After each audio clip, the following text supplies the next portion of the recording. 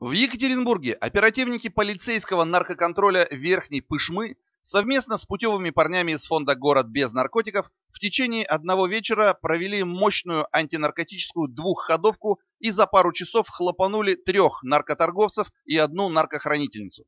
Началось это движение по наркоцепи снизу вверх с того, что некая ранее задержанная наркоманка любезно согласилась закупиться у своего драгдилера 25-летнего Андрея Харлова, обитающего на Чкалова 252.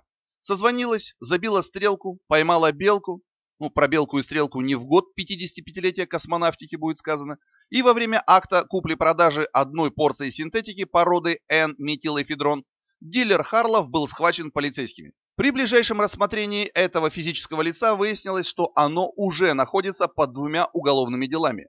По наркохранению к нему имеет вопросы 11-й железнодорожный ОП, по наркохранению в крупном размере вопросы имеет 14-й Эльмашевский ОП.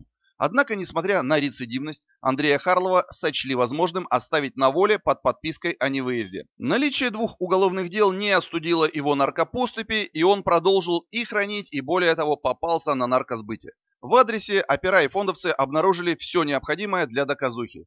Весы, зиплок-пакетики и 5 граммов N-метилэфедрона, расфасованного по порциям. Кроме того, в квартире барыги Харлова отыскалась гостья из настоящего, 19-летняя Влада Вьюнова. В ее черной сумочке совершенно неожиданно, прежде всего для нее самой, нашлись 5 пакетиков с N-метилэфедроном общей массой около 7 граммов. Барышня с красивым именем Влада втупила, чуть ли не заламывая руки. Приколитесь над артистизмом.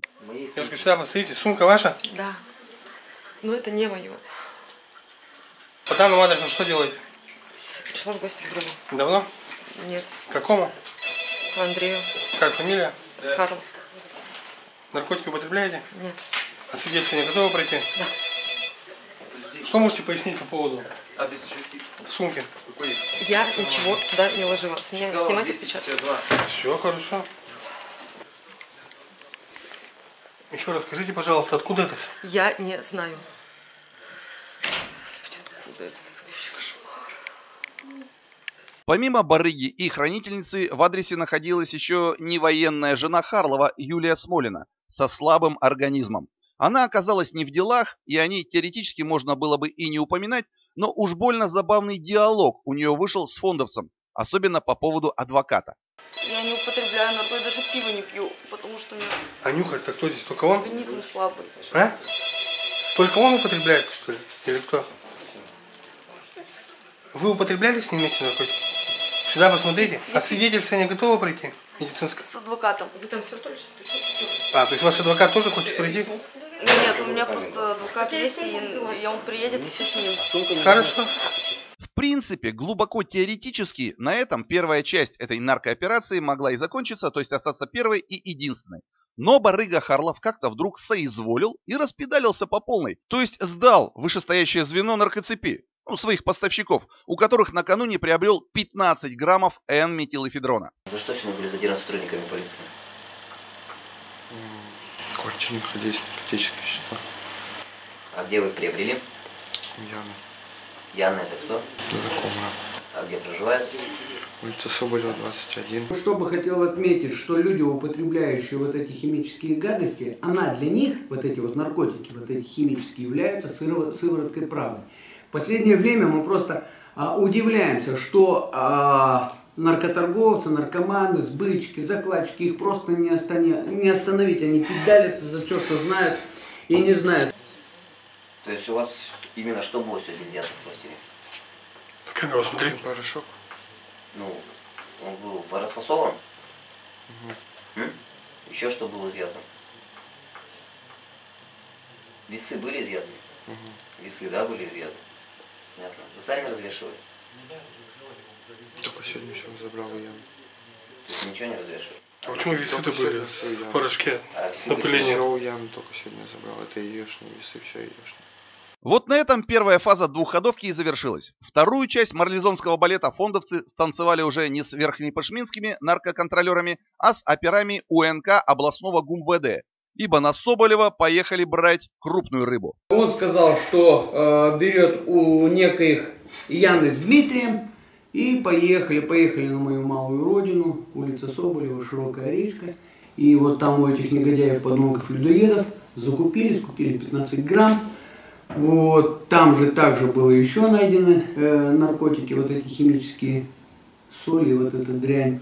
Вот, они признали эти наркоторговцы свою вину, и оба прилипают э, за наркосбыт. Да, ну вот так все и было, но это если по бырику. Если же вы хотите подробностей, будьте любезны. В адресе на Соболева 21 корпус 1, названном Андреем Харловым, обитала парочка. 27-летний Дмитрий Марущак и его 25-летняя красотка-сожительница в обтягивающем белье Яна Белканова, мама двухлетнего малышоныша. Можно к бабке не ходить, в школе у Яны по-любому было прозвище Белка, ну или Белочка.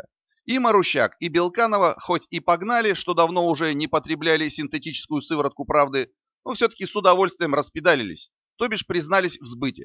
Дмитрий, правда, хотел съехать только на хранение, но любимая не оставила ему шансов. Ну а что, вместе так вместе, и в горе, и в радости, и в наркоторговле, и в тюрьме. Сегодня за что были задержаны сотрудники полиции? За сбыт вроде не знаю, как правильно. Сбыт наркотических средств, правильно? Наверное, да. Давно занимаетесь сбытом наркотиков? Полтора месяца. Полтора месяца? Да. За что задержаны сотрудники полиции?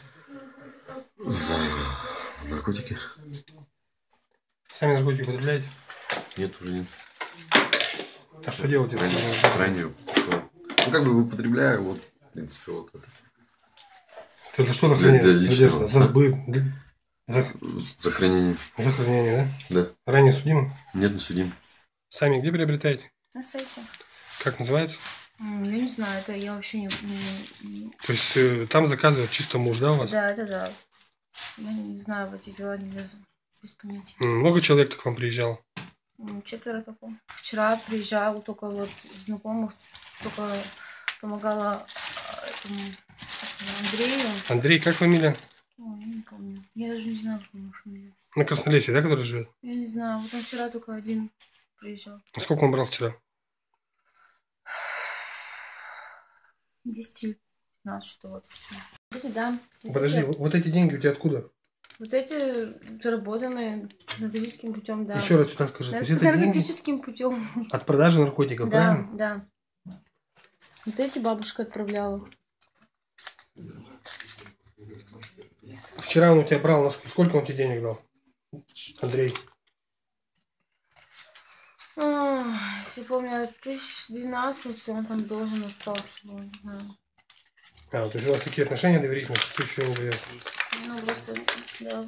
да. Я тут 13 тысяч. Мгм. Скажи, пожалуйста, ты как бы не думала, что ну, рано или поздно, что ты можешь Так мы попасться? все хотели закончить, если честно. Нет, это все говорят, я знаю, что все говорят, но правда. Как только Дмитрий понял, что сидеть придется им двоим, он сбросил ермо с совести и достал из запасников в стене стакан с 15 граммами мефедрона и добровольно сдал. Конечно, это его от ареста не спасло. Он отъехал в СИЗО, но, возможно, суд учтет его распидал. А вот его любимка осталась на свободе, под подпиской, из-за наличия у нее двухлетнего малыша. И поехала она не в СИЗО, а на день рождения к своей наркоклиентке Кристине. Вот Из девочек кто к вам приезжал? Из девочек приезжала Кристина. Кристина. Как фамилия Кристина? Тоже фамилию даже не знаю. Это которая на Серова, да, живет с девочкой? Вдвоем. Серова. У которой, девочкой. у которой сегодня день рождения, да? Да, Ты должна была сегодня туда поехать, да? да, С мужем, да, со своим? да. Нет, одна. Одна? Мгм.